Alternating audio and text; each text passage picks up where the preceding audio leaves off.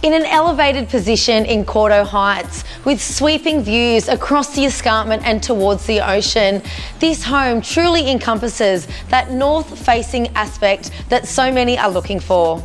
I'm Sarah Ward from Stone Real Estate Illawarra, and today I would love to show you through number 78 Staff Road in Cordeaux Heights. Let me show you around. Set amongst modern homes, this property is one of the newest in the suburb, being built just seven years ago by Beechwood Homes. Offering four bedrooms and a functional open plan design, this home has been designed and built to really capture its surroundings. With the large deck opening off the living space, you will be taking in the view all year round from the undercover entertaining space and the stunning swim spa. The open plan kitchen provides a large central bench, creating a space where mum and dad can help the kids with their homework while they sort the dinner plan.